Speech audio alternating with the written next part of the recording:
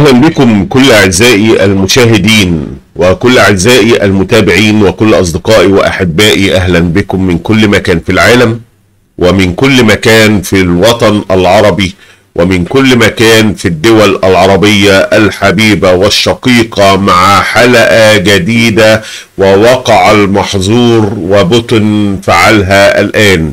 والتطورات يا جماعة اللي بتحصل في العالم. تطورات سريعة جدا. كل يوم وكل ساعة وكل دقيقة تطورات جديدة تؤثر على العالم بأكمله. تؤثر حتى على الشاب الصغير اللي قاعد في بيته بيلعب جيم. التطورات سريعة وخطيرة جدا. كمان معانا هام وعاجل للسعودية والمغرب وتونس. والمغرب يوجد خبر مفرح وأخيرا لقينا أخبار مفرحة. فعايزين نشوف التفاصيل دلوقتي وهنبدأ نشوف أول خبر معانا. وقبل ما نبدأ بفكر حضراتكم بعمل ال like للفيديو بوصيكم بال like وما تبخلوش علينا بيه علشان المجهود الخرافي اللي بنعمله كل ساعة ده محتاج من حضراتكم الدعم وال like فما تبخلوش علينا بيه ويا ريت تعملوا دلوقتي عشان نركز في اللي جاي. وكمان يا جماعة أرجوكم خلوا المعلومة تعم. يعني شيروا الفيديو وانشروه عندكم على الفيسبوك على الماسنجر على الجروبات. خلوا الناس تصلها المعلومة لأن ده برضو ثواب من أحد الثواب إنك تبلغ غيرك بالمعلومة. وكمان بتدعم القناة عندنا علشان ينفع القناة تنتشر وتوصل لأكبر عدد ممكن. وبطلب من حضراتكم لو عايز يوصلك كل جديد وحضرتك مش مشترك معانا الزرار الأحمر اللي تحت الفيديو اللي مكتوب عليه اشتراك أو سبسكرايب يا ريت تدوس عليه علشان يوصلك كل جديد ويشرفنا انضمامك آه لنا وإحنا معاك على مدار الساعة في كل ثانية وكل لحظة. يلا بينا نبدأ نشوف هذا العام الغريب. عام 2022 عام البلاء والغلاء والوباء ومش عارفين هنوصل فيه لإيه. ربنا وحده هو اللي عارف اللي جاي إيه. فلازم نقول اللهم ارفع غضبك ومقتك عنا. اللهم ارفع عنا البلاء والوباء والغلاء والحروب. وانزل رحمتك ولطفك على عبادك يا رب العالمين. آمين. مش طالب منكم كتير غير مليون أمين. عايزين نملى كل كومنتات الفيديو بأمين. لعل صوتنا يصل للسماء وربنا يرفع غضبه عن البشرية على اللي إحنا شايفينه كل يوم. يلا بينا نبدأ أول خبر. معانا دلوقتي وخبر مفرح لكل أهالينا وإخواتنا وأحبائنا في المغرب. اعتبارا من أول سبتمبر المغرب يرفع الحد الأدنى للأجور. أخيرا لقينا حاجة تخلي الناس تبتسم وده خبر رسمي 100% نشر يوم 2 9 2022 ونقول لإخواتنا المغاربة مبروك وعقبال بقية الدول يحسوا بشعوبهم وهنا صادقت الحكومة المغربية على رفع الحد الأدنى لأجور القطاع العام بنسبة 9.3% ليصل إلى 3500 درهم أو 350 دولارا اعتبارا من 1 سبتمبر الجاري. يعني أقل راتب في المغرب الآن 350 دولار بالسعر العالمي أو 3500 درهم ومبروك للمغاربة ومبروك لإخواتنا وأحبائنا وليا أصدقاء كتير في المغرب فبقول لهم ألف مليون مبروك. وأعلن رئيس الحكومة المغربية عزيز أخنوش عقب اجتماع أمس الخميس عن اتخاذ جملة تدابير من شأنها تحسين دخل المواطنين والرفع من قدرتهم الشرائية تنفيذا للحوار الاجتماعي. وقال في بيان إنه سيتم أيضا تنفيذ رفع الحد الأدنى للأجور بنسبة 5% في القطاعات الصناعه قطاعات الصناعة والتجارة والمهن الحرة على أن تضاف إلى زيادة أخرى بنسبة 5% اعتبارا من سبتمبر 23 وبنسبة 10% في القطاع الفلاحي. وأضاف تمت المصادقة على مرسوم يهدف إلى رفع الرفع من الحد الأدنى للأجر في القطاع العام ليبلغ 3500 درهم وأعلنت الحكومة عن توقيع اتفاق اجتماعي وميثاق وطني للحوار الاجتماعي مع النقابات يشمل تحسين شروط العمل وزيادة الأجور. عشية إحياء اليوم العالمي للعمال في الأول من مايو والاتفاق يضم مجموعة من الالتزامات المتبادلة منها على وجه الخصوص الرفع من الحد الأدنى للأجر بقطاعات الصناعة والتجارة والخدمات بنسبة 10% على سنتين كما يتضمن التوحيد التدريجي للحد الأدنى القانوني للأجر بين قطاعات الصناعة والتجارة والمهن الحرة والقطاع الفلاحي ورفع الحد الأدنى للأجر. بالقطاع العام إلى 3500 درهم صافية بدل 3200 درهم والمصدر رئاسة الحكومة المغربية. مبروك للمغرب وأشقائنا وأحبائنا ويا رب تعمم على بقية الدول العربية أجمع إن شاء الله يا رب العالمين. كمان معانا هنا مشكلة ما بين دولتين الحكومة المغربية تهاجم الرئيس التونسي. وإحنا نتمنى من الله سبحانه وتعالى إن جميع المشاكل التي ما بين الدول العربية أجمع ودول الخليج ودول المغربية والمغرب الكبير أن تتلاشى هذه المشاكل. لأن العالم الآن في اتجاه التوحد. أوروبا بتتوحد وأمريكا مع دولها بتتوحد. والعرب بإذن الله يا رب نطلب يعني إن إحنا نتلافى هذه المشاكل ولكن بدأت مشكلة جديدة ما بين الحكومة المغربية والحكومة التونسية أو مع الرئيس التونسي. وده كان بتاريخ النشر 2 9 2022 ونشوف إيه اللي جاي. قال الناطق الرسمي باسم الحكومة المغربية مصطفى بايتاس أن استقبال الرئيس التونسي قيس سعيد لزعيم جبهة, جبهة البوليساريو إبراهيم غالي عمل خطير وغير مبرر وأدى استقبال تونس لزعيم البوليساريو إلى أزمة بين البلدين وتصعيد وصل إلى سحب المغرب سفيره من تونس أعقبه سحب السفير التونسي من الرباط وده مش عايزين يا جماعة نشوفه أرجوكم. يعني ربنا يحل المشاكل دي ويحل اختلاف وجهات النظر وأنا عارف إن المغرب ليها حق وكل حاجة لكن إحنا في صدد عصر صعب جدا. نتمنى فيه الاتحاد والتوحد ما بين الكل الدول بإذن الله. وقال الناطق الرسمي باسم الحكومة المغربية أن استقبال سعيد لغالي عمل إدا عمل أدانه الجميع من مختلف مكونات المجتمع وقال إنه يسيء إلى مشاعر الشعب المغربي. وكان الرئيس التونسي قد استقبل غالي في إطار مشاركة الأخير في اجتماع تيكاد اليابانية الإفريقية حيث جرت مراسم استقبال رسمية في مطار قرطاج وهو ما آثار غضب المغرب والمصدر هنا هيسبريس فربنا إن شاء الله إن شاء الله يعدي هذه المشاكل والسفيرين يرجعوا لمكانهم ونرجع الدول الموحدة تاني في العصر القادم الصعب جدا جدا.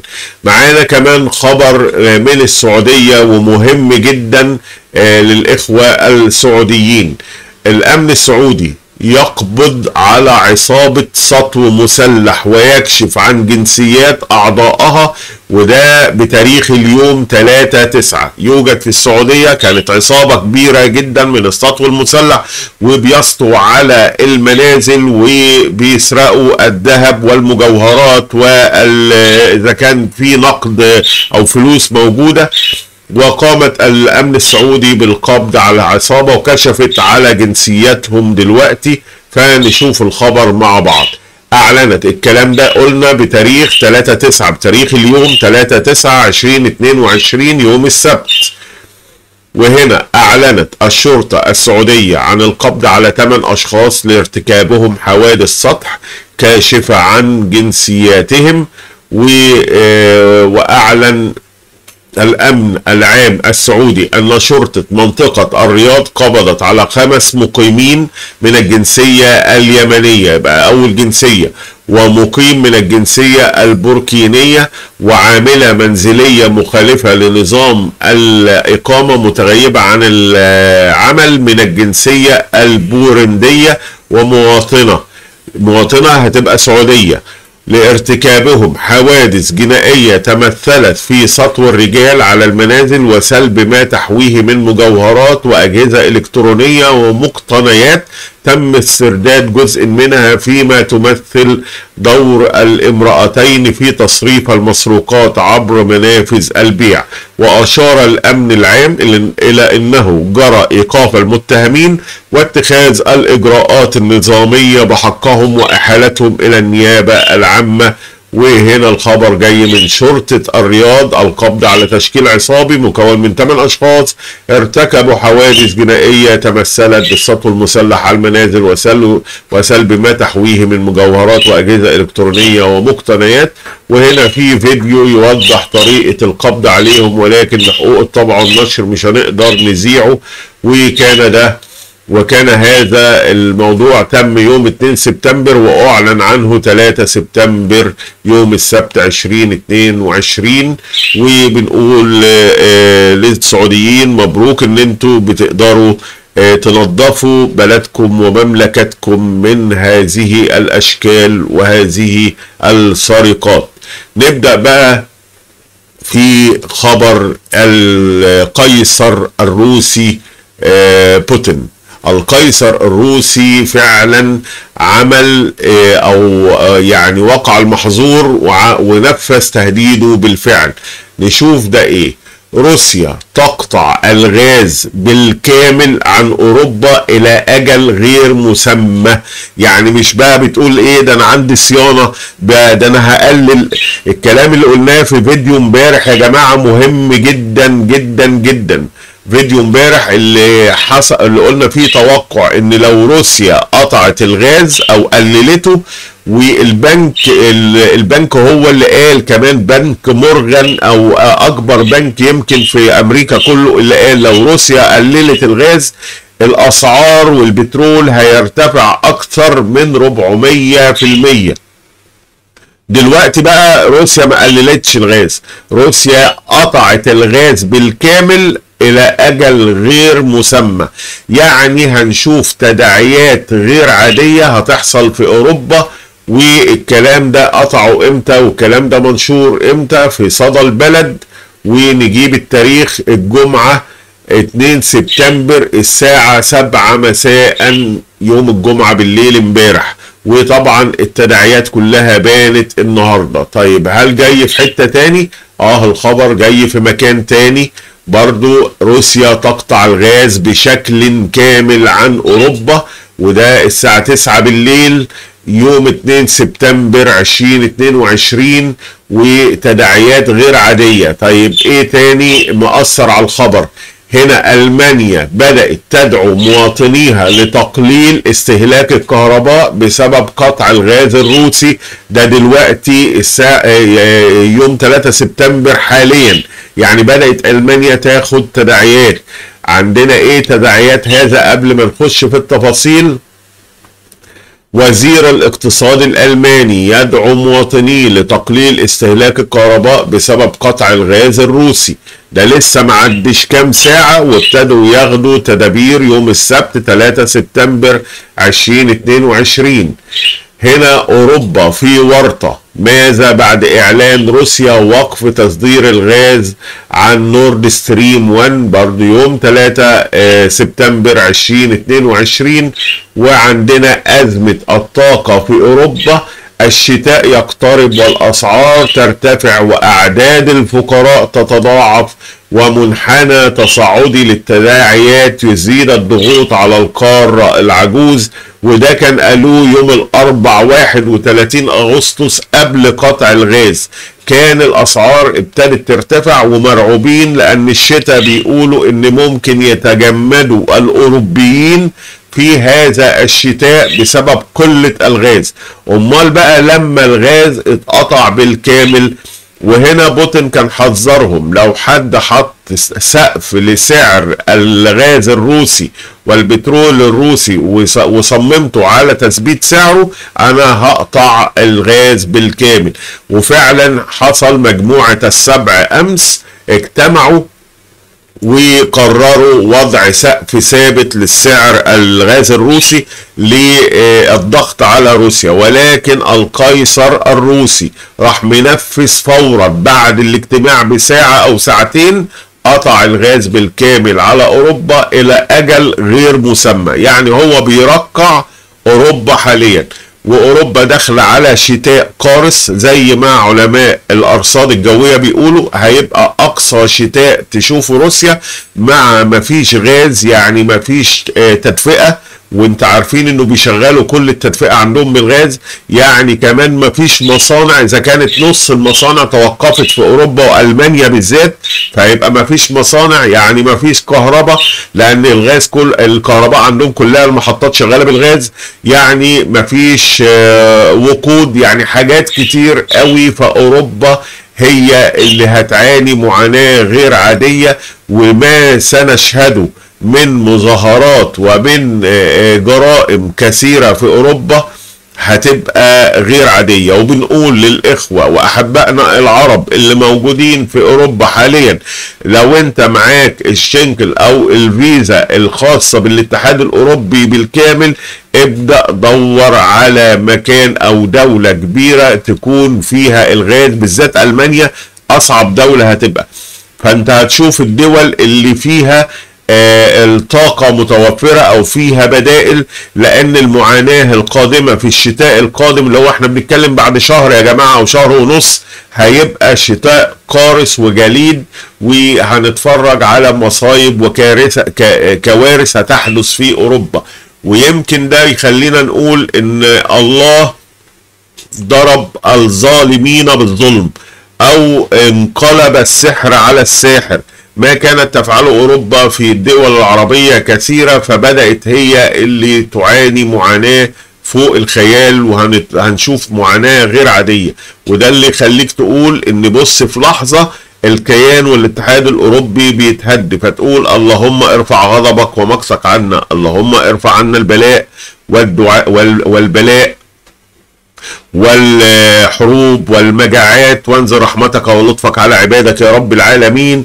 وناخد بسرعة علشان برضو وقتكم نقول أعلنت روسيا اليوم الجمعة وقف ضخ الغاز إلى أوروبا عبر نورد ستريم 1 اللي هو الخط الأساسي اللي بيودي 90% من الغاز لاوروبا بشكل تام إلى أجل غير مسمى وذلك تزامنا مع قرار لوزراء مالية مجموعة السبع يقضي بوضع سقف لسعر النفط الروسي وكانت حذرت روسيا فراحت منعت الغاز. وقالت شركة غاز بروم الروسية في بيان إنها أوقفت بشكل تام ضخ الغاز عبر نورد ستريم 1 موضحة أن هناك أعطال في التوربين الأخير الذي يعمل بالخط. وطبعا ده كلام سياسي بيقولوا إن في أعطال علشان ما يقولوش إن آه، روسيا بتحارب آه، أوروبا محاربة مباشرة.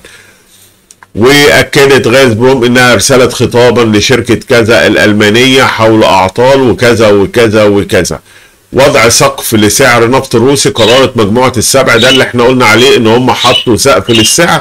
وإن آه، روسيا وبوتين حذر إن لو حد حط سقف آه، آه، هيمنعوا الغاز. وهنا كان لأول مرة وبشكل صريح روسيا تهدد بقطع الغاز عن أوروبا بشكل نهائي ورغم تحذيرات موسكو مجموعة السبع تفرض بصورة عاجلة سقفا على سعر النفط الروسي. وحذرت روسيا يوم الجمعة من أن فرض سقف لسعر بيع النفط الروسي سيزعزع استقرار السوق النفطية وقال كمان أنه هيهد السوق النفطية بالكامل. وهنا طبعا نفس الخبر عن روسيا وعن قطع الغاز. ولكن هنا ألمانيا ابتدت تدعو مواطنيها لتقليل استهلاك الكهرباء وكمان لسه في خبر من ثواني بالظبط إن ألمانيا هتبدأ توضع ضرائب عالية جدا على استهلاك الغاز في المنازل علشان آه، يحاولوا ما يصرفوش في استهلاكه لأنها مش هتقدر تكفي آه، على ده. وعلى خلفية توقف إمدادات الغاز الروسي عبر كذا ذلك الخط الرابط ما بين روسيا وألمانيا. دعا وزير الاقتصاد الألماني روبرت هابك في بلاده آه، المواطنين إلى ضرورة تقليل استهلاك الكهرباء وذلك بعد قرار قطع إمدادات الغاز الروسي. ولسه هنشوف يا جماعة إن ال- الدول جاء فيه 13 دولة تضررت من وقف تدفقات الغاز آه، الروسي في خط نورد ستريم 13 دولة في أوروبا وده هيبقى كارثة على الدول الأوروبية بالكامل وعلى الاتحاد الأوروبي وربنا يعدي هذه الأزمة على خير لأن إحنا في زمن عصيب جدا جدا جدا ووقت عصيب جدا جدا جدا. وده اللي يخلينا إن إحنا نقول الحمد لله على اللي إحنا فيه كعرب ونطلب من الله رفع غضبه وندعو إلى الله اللهم ارفع عنا البلاء والوباء والغلاء والجفاف وانزل رحمتك ولطفك على عبادك يا رب العالمين. قولوا آمين وعايزين مليون آمين من فضلكم. ولم يتبقى لي إلا أن أشكر حضراتكم لوصولكم معي إلى هذه اللحظة وما تنسوش اللايك وما تنسوش آه، نشر الفيديو ويا ريت ما تبخلوش علينا انك تشترك في القناة وتفعل الجرس. أترككم في رعاية الله وأمنه وانتظروني اليوم في فيديوهات هامة جدا. تابعوني. والسلام. ختام.